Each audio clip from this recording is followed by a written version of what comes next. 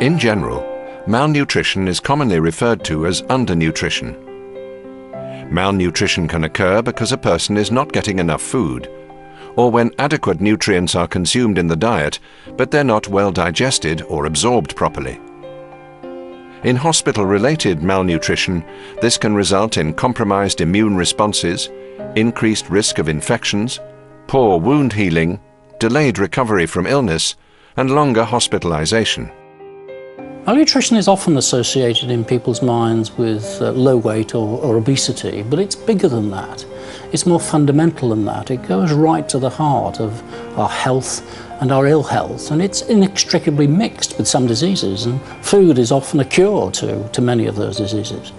Or at least it's a preventive to ensure the conditions don't get worse. So it's more than just uh, weight.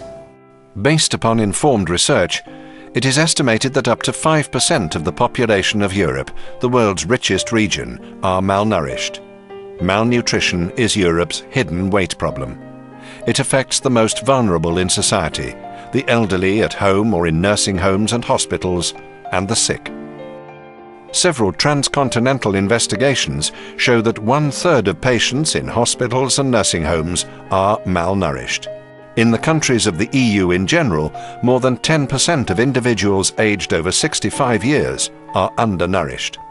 Well, I think in Europe today we have uh, still a very uh, major problem with malnutrition in hospitals and also in, in any kind of care situation. Disease is one of the commonest causes of uh, malnutrition in developed countries.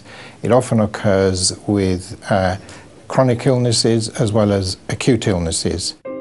Our nutritional needs change as we age, but the link between a good diet and staying healthy remains. We really do need to eat as many types of food as possible, fish and meat, or vegetarian alternatives including pulses, milk and dairy foods. Our social structure of today also makes it uh, perhaps more easy for people to get malnourished. And usually this is a problem uh, which professionals, nurses, doctors or physiotherapists are not really aware of. The health implications of malnutrition are enormous and come into sharp focus when people enter hospital.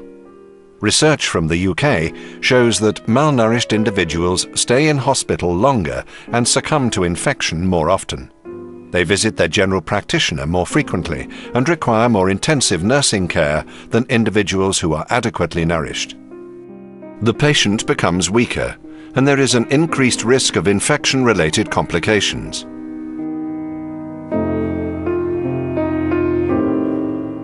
Well, the two major causes of expenses of cost for malnutrition occur in hospitals and, uh, and also in social care outside hospitals.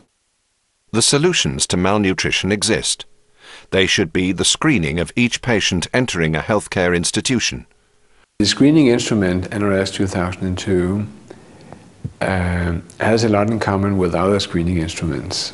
Uh, it uh, gathers information on the present body weight of the patient, the BMI, recent weight loss of the patient and uh, recent uh, food intake, whether or not the patient has decreased his or her food intake over the last uh, week or so.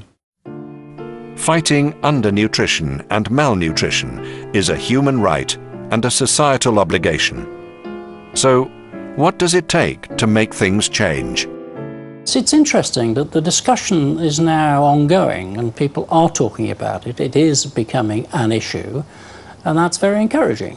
I, am optimistic that we can change this state of things. There's many people and many experts that have gathered good scientific evidence to show we have a problem and we can solve it.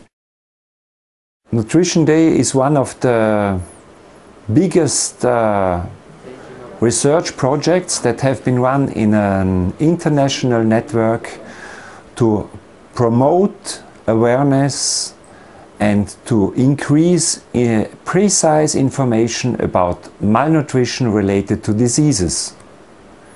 It covered a population of more than 50,000 patients And it was one of the very surprising findings in the Nutrition Day project that less than 40% of patients eat all what they are served in a hospital.